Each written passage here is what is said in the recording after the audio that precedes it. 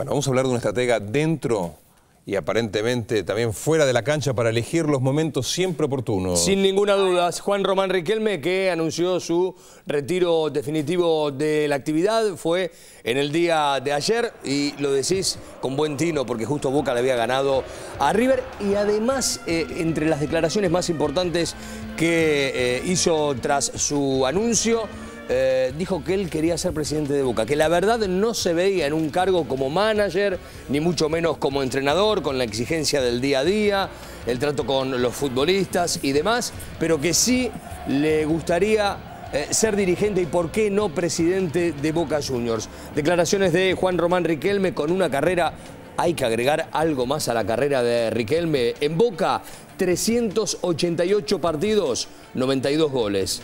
En el Barcelona, 42 partidos, 6 goles. En el Villarreal, 145 partidos, 45 goles en Argentinos Juniors, que incluyó el ascenso eh, hace meses nada más. Fue donde, en definitiva, se retira del fútbol.